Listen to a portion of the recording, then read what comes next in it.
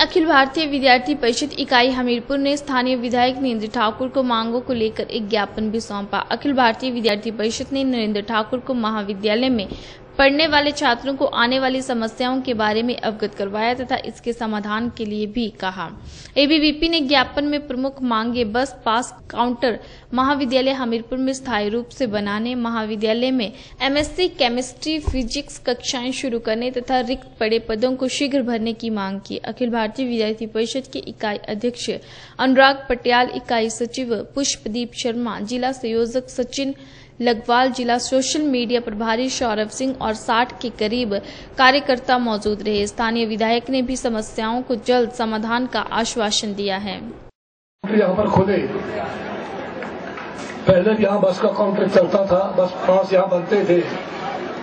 मैं उनको यह आश्वासन देता हूँ कि जल्दी ही कुछ दिनों में, जैसे पहले चलता था वैसे, यहाँ बस पास या बस जो भी आप चाहते हैं बस का काउंटर यहाँ खुलेगा, ये मेरा आपसे आश्वासन ही नहीं, बल्कि मैं यहाँ पे अनाउंस कर देता हूँ काउंटर खुलेगा। दूसरा आपके यहाँ एक और डिमांड आई इस एथलेटिक ट्रैक के बारे में। ये जो एथलेटिक ट्रैक है, ये स्पोर्ट्स डिपार्टमेंट के अंदर है और कॉलेज के स्टूडेंट्स को यहाँ पर परमिशन नहीं दी जाती है। मेरा यह पूरा प्रयास रहेगा। चाहे कॉलेज के इसमें जुडिक्स में ये ट्रैक आए, ना आए, लेकिन कॉलेज के बच्चों को यहाँ हर्ष में खेलने को मिले, इसके लिए मैं पूरी कोशिश करूँगा और ये मैं समझता को बड़ा काम नहीं है।